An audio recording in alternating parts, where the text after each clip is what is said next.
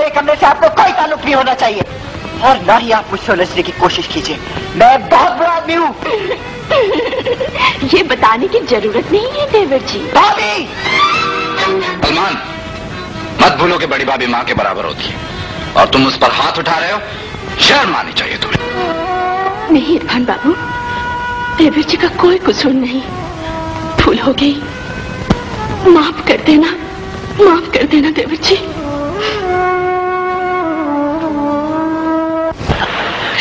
انسان کو بیوقوف بنا رہی ہوں۔ وہ مجھ پر دولت نچھاور کرتا ہے اور اس کے بدلے میں میں اس سے مسکرا کر بات کرتی ہوں۔ ادروائز میرا اس سے کوئی تعلق نہیں۔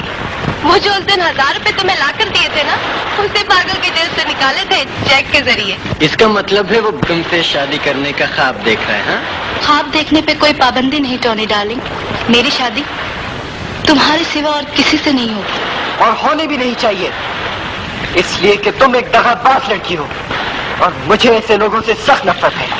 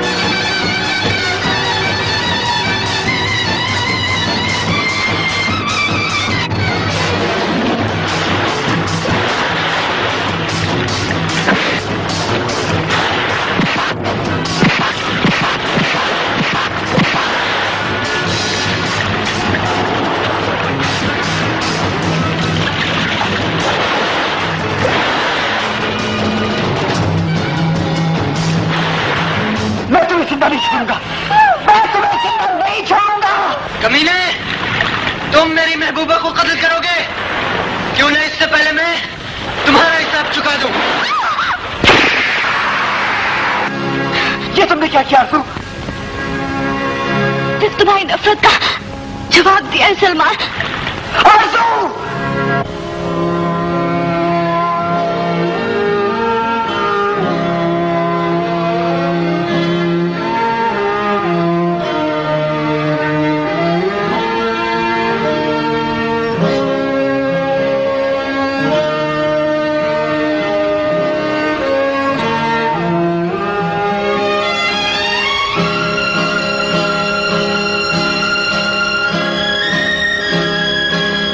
ڈاکٹر صاحب مریضہ خیریت سے تو ہے؟ مریضہ کو جب تک ہوش نہیں آ جاتا، کچھ کہا نہیں جا سکتا۔ آپ نیچے سے یہ دوائیں لے آئے میں بہتر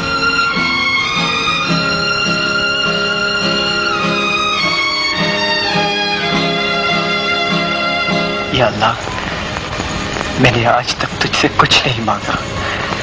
لیکن آج میں تجھ سے آرزو کی زندگی کی بھیک مانگتا ہوں۔ بھیک مانگتا ہوں۔ دیور جی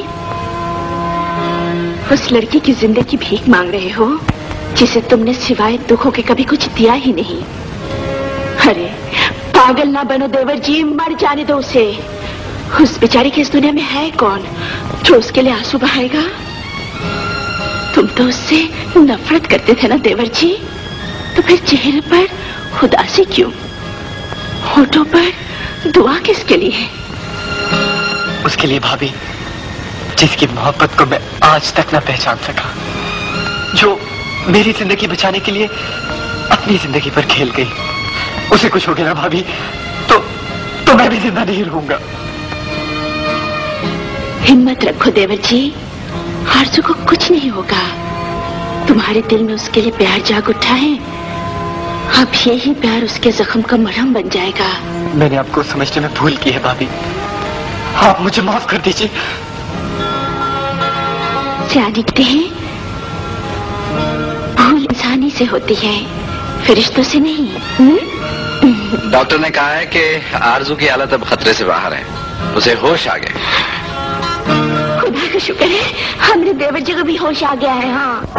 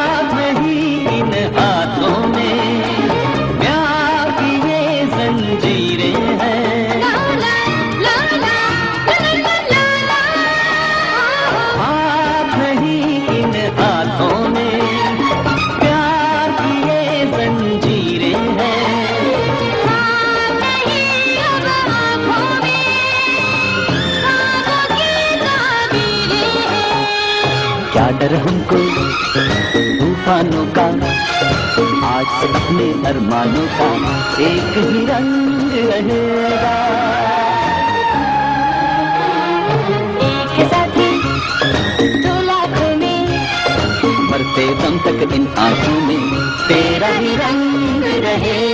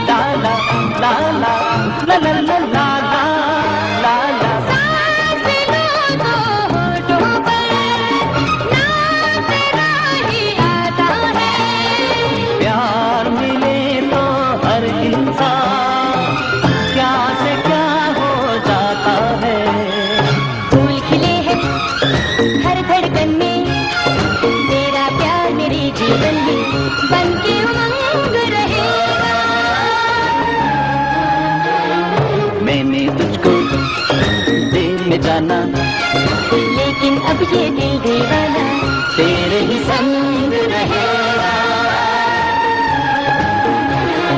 ایک ہے ساتھی دو لاکھوں میں مرتے دم تک دن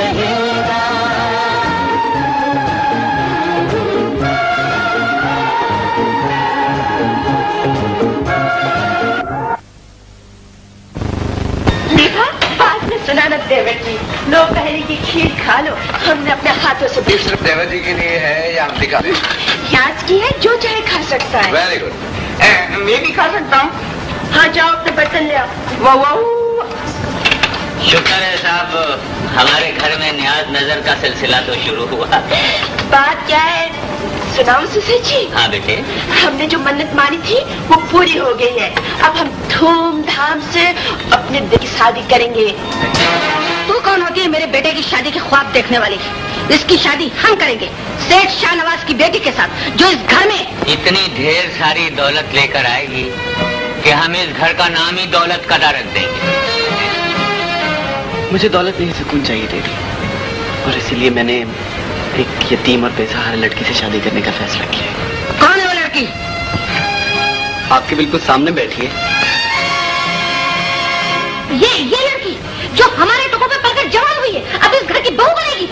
کیا تم نے اس سے شادی کرنے کا فیصلہ کر لیا ہے؟ جی ہاں امی جان۔ اور آپ کو معلوم ہے کہ ایک بار جو میں فیصلہ کر لوں اسے بدلہ نہیں کرتا۔ یہ تم نہیں یہ جہے گوار عورت کا جادو سر جا کر بول رہا ہے۔ تم میں نافرمانی کرنے کا یہ جذبہ امی جان۔ تہذیب کے دائرے میں رہ کے بات کیجیے بھابھی کا رتبہ ماں سے کم نہیں ہوتا۔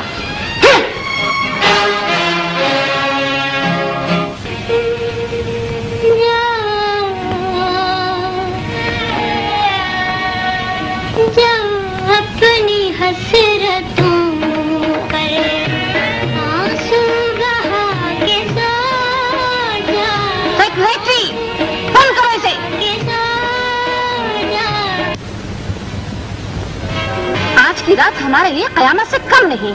کم سے کم سلمان سے ہمیں ایسی گساخی کی امید نہیں تھی۔ نہیں ماری سلمان کا اس میں کوئی قصور نہیں ہے۔ سلمان کو آپ کے خلاف بھڑکایا گیا ہے۔ یہ عورت میرے کو لگتا ہے جادو ہے چیف آف بگداد کی بچی۔ آہستہ آہستہ اس نے سب کو مٹھی میں بند کر لیا ہے۔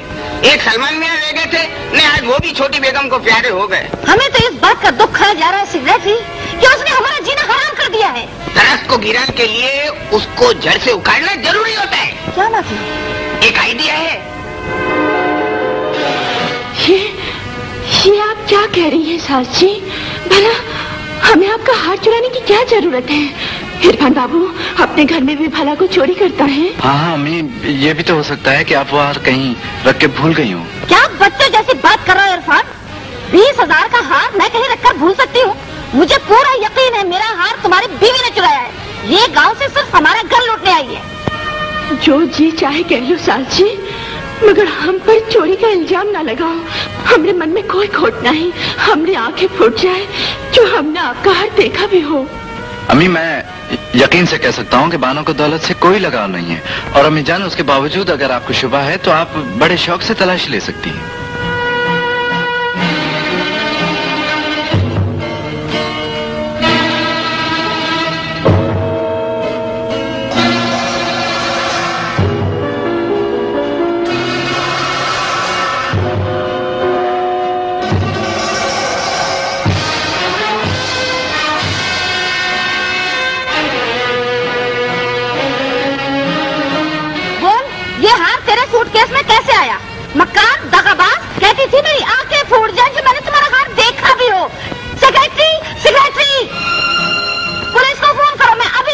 جاتی ہوں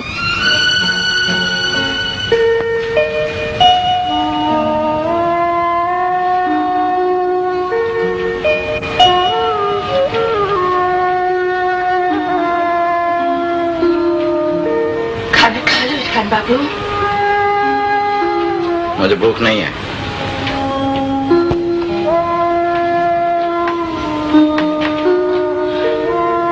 بہت کھپا ہو ہم سے سے پیڑا ہم کا کوئی نہیں بابو تمہاری قسم ہم بے قصور ہیں۔ یہ تو تم کہہ رہی ہو نا۔ تمہارے کہنے سے کیا ہوتا ہے؟ چوری پکڑی جا چکی ہے۔ تم نے تو کہا تھا کہ تمہیں دولت سے کوئی سروکار نہیں ہے۔ پھر؟ پھر یہ گھٹیا حرکت تم نے کیوں کی؟ فن بابا تم نے ایک ہی جھٹکے میں میرے اعتماد کی عمارت کو گرا دیا۔ جاؤ یہاں سے۔ مجھے تنہائی چاہیے۔